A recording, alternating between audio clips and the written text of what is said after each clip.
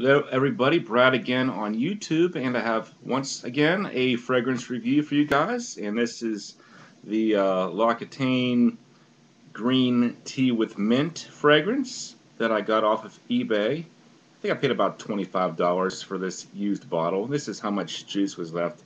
Kinda, I'd say at least like 75% of the juice was left. Um, so I thought uh, that was okay. I think the uh, retail originally it was around 45 50 dollars for this bottle. Uh, didn't have a cap on it. Um, but the, yeah this fragrance is hard to find uh, because it is discontinued. You'd have to pretty much go on eBay and bid on a bottle maybe get it for around 20 25 dollars used.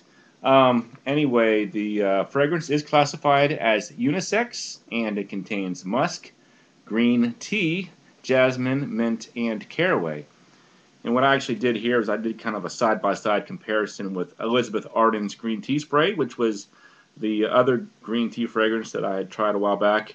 Um, now, I mentioned in that review that uh, it was pleasant, but it was a, you know, a tad bit uh, feminine because, you know, of the floral elements, but uh, bordering on unisex. Now, the, uh, the one I'm reviewing here, the green tea with mint, Uh, yeah, I think it's probably a tad bit more masculine because uh, it doesn't have the floral aspect of it quite so much. What happens with this one is that I think you replace a lot of the floral notes with a sweet note. So it's to me, it kind of gives me the effect of if I took like a cup of hot green mint tea, uh, stirred maybe three or four teaspoons of sugar in it, and just kind of held it under my nose, and it just kind of wafted up into my face. So it's very uh, similar to that smell. Um, just gives you like a, a, cup of tea smell on your body. Um, uh, to be honest with you guys, I'm not sure if I'm overwhelmed by this fragrance. I'm not sure if it's uh, what I would call a great blind buy, in my opinion. Um, it's something I might try once or twice a year in the springtime just to change things up a little bit. Um, actually, I think I'm more impressed with this one. I mean, this one has a more natural tea floral smell. It's kind of like you walked out into the garden. You got that really fresh floral tea smell, maybe a little bit of mint.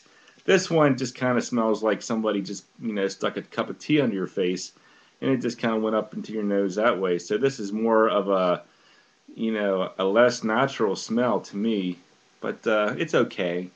I mean, if that's what you're looking for, if you're looking for the effect of green tea um, with some sugar, you know, as a fragrance, you know, maybe check that one out. Um, a lot of people say the green tea kind of gives them kind of like a boost. It's kind of like a natural uh, stimulant. So maybe for something just for your own personal pleasure, maybe that's something you could wear. Um, I don't know if it'll get you compliments or whatever, but uh, you know, it's not offensive. It's it's a fine fragrance and uh, something that you might want to consider wearing occasionally, especially in the springtime. So there you go. That's pretty much my take on this fragrance.